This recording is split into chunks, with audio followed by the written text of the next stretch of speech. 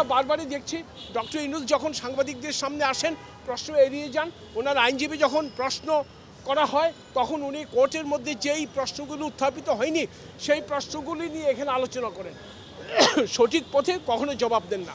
তবে আমরা আপিল শুনানির জন্য প্রস্তুত হয়ে এসেছিলাম। যেহেতু আদালত আজকে ওনাদেরকে সময় দিয়েছে আগামী তেইশে মে আপিল শুনানির জন্য দিন ধার্য আছে ওই দিন পর্যন্ত ওই দিন পর্যন্ত জামিন আছে। আমরা সেই দিনের অপেক্ষায় থাকলাম আমরা সেই দিন আপিল শুনানির জন্য আবার প্রস্তুত হয়ে আসব। তবে আপিল নিষ্পত্তি না হওয়া পর্যন্ত ট্রাইব্যুনালে তিনজন বিচারক থাকার কথা আছে একজন বিচারক। আইন অনুযায়ী এই আপিলটা যদি আপনি শুনানি করেন উচ্চ আদালতে এটা টিকবে অথবা এটা নিয়ে প্রশ্ন উঠবে না এটার উপর নিশ্চয়তা দিতে পারেন? না দেখুন কোনো আইনজীবী কখনো কোনো নিশ্চয়তা দিতে পারে না। আপনি যেটা বলছেন ওটা লিগাল ইন্টারপ্রিটেশনের ব্যাপার। তিন সদস্য সমন্বয়ে গঠিত বেঞ্চ এবং সেখানে বলা আছে হাইকোর্ট থেকে সর্ব হাইকোর্ট থেকে অবসরপ্রাপ্ত একজন বিচারপতি। এখন দেখুন এটা তো সরকারের উপর দায়িত্ব। আমার তো মনে হয় এই এই জিনিসটা সরকারের দেখভাল করা উচিত।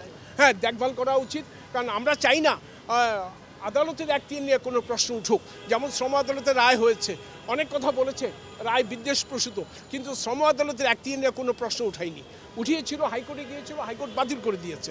কাজে আমরা চাই না শ্রম আপিল ট্রাইব্যুনাল নিয়ে কোনো একটিয়ার নিয়ে কোনো প্রশ্ন উঠুক। আইন অনুযায়ী যদি ট্রাইব্যুনাল গঠিত হয়, অবশ্যই আমরা যে কোনো ট্রাইব, আপিল ট্রাইব্যুনালেই মামলা করতে সদা প্রস্তুত। একটা শেষ প্রশ্ন করি। আপনি যে দিক বিবেচনা করেন, ডক্টর সম্মানিত ব্যক্তি।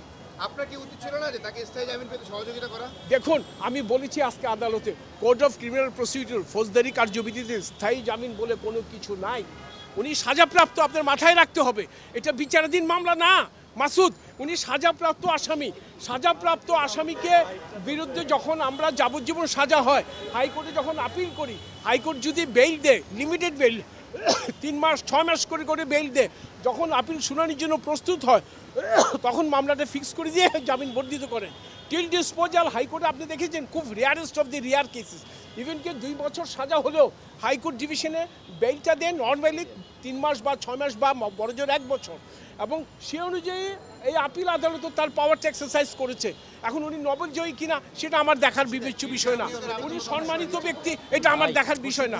আমার দেখার বিষয় হলো, উনি আইন ভঙ্গ করেছেন, আইন ভঙ্গের দায়ে ওনার সাজা হয়েছে, উনি সাজাপ্রাপ্ত আপিলকারী। আমরা আমাদের প্রতিষ্ঠানের তরফ থেকে প্রসিকিউশনের তরফ থেকে, আমরা উনি সম্মানিত কিনা, সেটা দেখার আইন আমাদেরকে সুযোগ দেয় নেই। উনি নোবেল লরিয়েট কিনা, সেটা দেখার সুযোগ আমাদের নাই। এবং সবচেয়ে বড় কথা, নোবেল লরিয়েট হিসেবে ওনার বিচার হয়নি। ওনার বিচার হয়েছে প্রতিষ্ঠানের কর্ণধারী হিসেবে শ্রম আইন ভঙ্গকারী হিসাবে। ওকে হইলে কি সমস্যা হয়ে থাকে? কি সমস্যা হয়েছে সেটা তো আমি জানি না। আদালত না না আমরা বলেছি এটা কোর্টের এখতিয়ার। জামিন কতদিন দিবেন না দিবেন? কোর্টে দিয়েছে আগামী তেইশ পাঁচ পর্যন্ত। হ্যাঁ।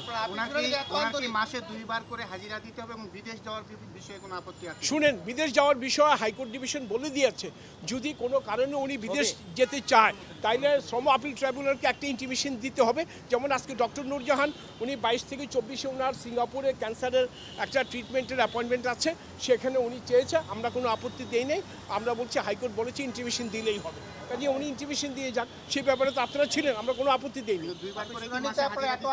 হ্যাঁ। বিচারক নিয়োগের আবেদন করতেছেন না কেন? দেখুন এটা তো আমাদের কাছ থেকে এটা সরকার। আমরা সরকার না বারবার বলছি আমরা কলকারখানা প্রতিষ্ঠান পরিদর্শন অধিদপ্তর। অবশ্যই অবশ্যই তারা ইন্ডিপেন্ডেন্ট প্রসিকিউশন করে। আপনি যে সালাউদ্দিনের কেসটা দেখলেন সেটা কে করেছে? ইন্সপেক্টর করেছে। এই ধরনের সাত আটশো মামলা পেন্ডিং এগুলি সবগুলি ইন্সপেক্টররাই করে। কাজে কোথায় কোথায়?